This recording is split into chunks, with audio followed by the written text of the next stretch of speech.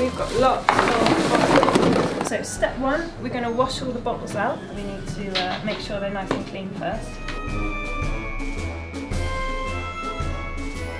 And we're going to fill up some of the bottles. So we're going to stuff it all down inside, like packed in there, so that they're not like squishy like they normally are, like they're really solid.